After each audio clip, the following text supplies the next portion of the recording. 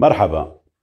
مسلسل الانتخابات الفلسطينية في حلقاته الثلاث مجلس تشريعي مجلس وطني آه، انتخابات رئاسية في المنتصف. يستقطب اهتمام الكثير من الأوساط الشعبية والرسمية والسياسية في فلسطين والمنطقة وفي العالم. معظم العواصم المعنية بالشرق الأوسط تتابع عن كثب هذا المسلسل. هناك ثلاثة أسباب رئيسية تجعل هذه الانتخابات مهمة. السبب الأول أن هذه الانتخابات لم تجري في فلسطين منذ العام 2005 كثير من المؤسسات الفلسطينية إن لم يكن جميع المؤسسات الفلسطينية تآكلت شرعيتها خلال هذه الفترة. هناك طلب عالمي فضلا عن المطالب الفلسطينية بتجديد شرعية هذه المؤسسات. هذا أولا. السبب الثاني كما هو واضح أن المنطقة تعتقد والعالم يعتقد أن هناك فرصة ربما لإنقاذ حل الدولتين بالذات بعد مجيء إدارة جو بايدن للحكم وحديثها عن يعني حل حل حل الدولتين. بعد سنوات أربع عجاف قضتها هذه المنطقة مع إدارة ترامب اللي كانت منحازة بالكامل لليمين الإسرائيلي الديني والقومي المتطرف. السبب الثالث في الحقيقة خشية أطراف عديدة من مفاجآت في هذه الانتخابات من نوع آه سيناريو 2006 كأن تكتسح مثلا حركة حماس المجلس التشريعي وبالتالي ما يمكن أن يترتب على ذلك من مخاوف وقلق إقليمي من جهة وربما يعني تبديد فرصة حل الدولتين التي تحدث عنها جو بايدن في أكثر من مناسبة وأكدها بلينكن في أكثر من مناسبة في هذا الموضوع. اذا هناك ضغط يعني داخلي فلسطيني، هناك ضغط عربي من أجل ترتيب الفلسطين البيت الفلسطيني من الداخل استعدادا ربما لإدارة بايدن ولتنشيط مسار السلام والمفاوضات وحل الدولتين وهناك اهتمام دولي واضح في هذا المجال. لذلك نرى أنه منذ أن صدر المرسوم الرئاسي الفلسطيني بتحديد مواعيد الانتخابات بعد الحوارات اللي تمت في اسطنبول وفي الدوحة وفي أكثر من مكان جرى الاتفاق في الحقيقة على إجراء الانتخابات يعني في موعدها المحدد. ما لم يطرأ ما ليس في الحسبان من المنتظر إنه 2.6 في العشرة مليون فلسطيني مسجل أن يذهبوا إلى صناديق الاقتراع. يوم 22 أيار مايو القادم. أعلى نسبة تسجيل على الإطلاق ربما في العالم. شغف شعبي فلسطيني كبير للذهاب إلى صناديق الاقتراع. وصلت بعض الأرقام حافة المئة بالمئة تسجيل. هذا رقم خرافي. في غزة حوالي 97% نسبة التسجيل الإجمالية. المعدل الوطني 93.3% هذه أرقام مهمة في الحقيقة بتعكس الشغف الفلسطيني بشكل أو بآخر بالذهاب إلى صناديق آه، الاقتراع. وإذا إجت نسبة الإقبال على الاقتراع يوم الاقتراع في 22 الشهر آه، أيار القادم أعتقد أنه سنكون أمام انتخابات فلسطينية وربما غير مسبوقة لا فلسطينيا ولا عربيا. هذا أمر بالغ الأهمية وبترصد كل الدوائر في هذا في هذا الجانب. خلقت هذه المراسيم وفلسطين راح تنتخب هذه المرة بنظام نسبي كامل.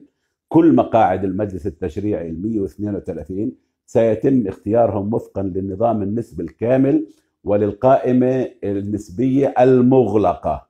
خلقت هذا المواعيد وهذا المرسوم الرئاسي ديناميكيات هائلة في الداخل الفلسطيني.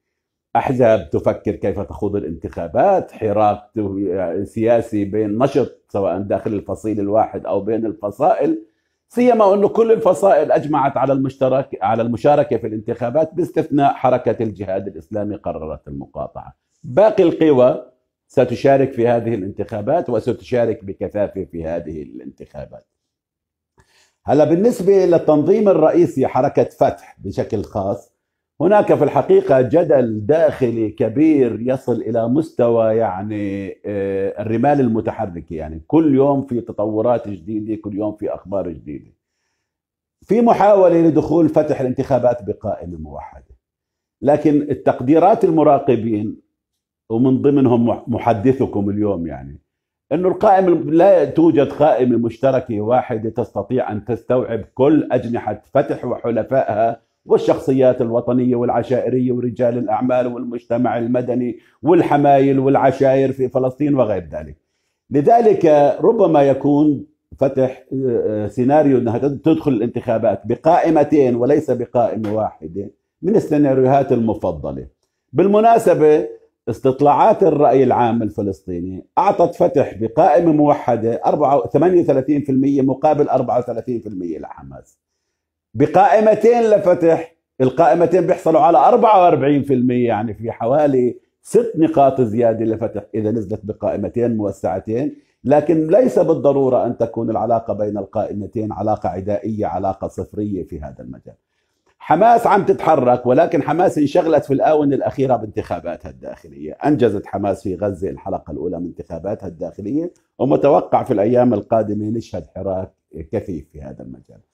اليسار الفلسطيني على ما يبدو حتى الآن على الأقل لأنه كما قلنا إحنا أمام رمال متحركة كثبان متحركة في الساحة الفلسطينية حركة اليسار الفلسطيني يبدو على على الأرجح إنها راح يعني كما سمعنا من بعض قادة اليسار الفلسطيني إنهم راح ينزلوا الانتخابات بقوائم خاصة فيهم، قوائم مستقلة خاصة فيهم، على أمل إنهم يشكلوا قطب ثالث في هذا المجال. غير مستبعد وفقا للنظام الانتخابي الفلسطيني. اللي أعطى عتبة حسم 1.5% يعني حوالي 25 ل 30 ألف صوت للقائمة. إنه تظهر قوائم أيضا من خارج الفصائل شخصيات وطنية، عشائر، رجال أعمال، غير ذلك، هذا كله سنراقبه ونتابعه وأعتقد إنه راح نرجع مرة ثانية للحديث عن الانتخابات الفلسطينية في قادمة الأيام مع تطور الحراك السياسي القائم. لا سيناريو يشير إلى فرصة الاكتساح ابدا. التمثيل النسبي ربما يمنع فكرة الاكتساح. والتقديرات إنه حتكون النسب متقاربة بفوارق يعني ربما أربع خمس مقاعد ست مقاعد عشر مقاعد يعني بهذا الحجم راح يغطيها القوائم الصغرى اللي حتفوت في الانتخابات التمثيل النسبي الكامل لا يسمح لأي فصيل بأن يكتسح في انتخابات 2006 حماس جابت 29% في التمثيل النسبي وفتح جابت 28% بالتمثيل النسبي يعني الفارق كان 1% منين أجت الأصوات الكبرى 76 مقعد لحماس في 2006 جاءت من نظام الدوائر وهو نظام شبيه بالقانون الأردني اللي كان معمول فيه في انتخابات ال 89 يعني نظام أغلبي. لذلك هذا التغى التغى من 2007 وصدر قانون انتخاب جديد بالتمثيل النسبي الكامل. لذلك ليس مستبعدا يعني أن تكون الانتخابات مضبوطة ومنضبطة بمعنى من ونتائجها متوقعة إلى حد ما. سيناريو الاكتساح في ظني مستبعد ومستبعد كثيرا.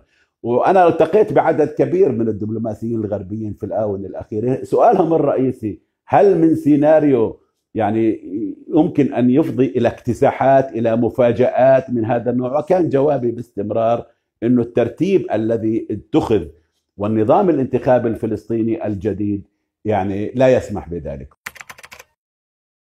أن الانتخابات ضرورية الانتخابات هامة الانتخابات خطوة على طريق المصالحة. إذا التزمت الأطراف باحترام نتائج هذه الانتخابات وأعتقد أن الأطراف أنهكت بجراء الانقسام الأصعب والأكبر والأخطر الذي أصاب الحركة الوطنية الفلسطينية في السنوات الماضية. خلاصة القول أن الانتخابات ستمنح مزيد من الشرعية ربما للمؤسسات الفلسطينية. خلاصة القول أن الانتخابات ربما تمكن الشعب الفلسطيني من فتح صفحة جديدة على طريق يعني استكمال مشروعه الوطني الفلسطيني. دعونا يعني نتأمل أن تكون نتائج هذه الانتخابات في صالح الكل الوطني الفلسطيني وأراكم في لقاء قادم.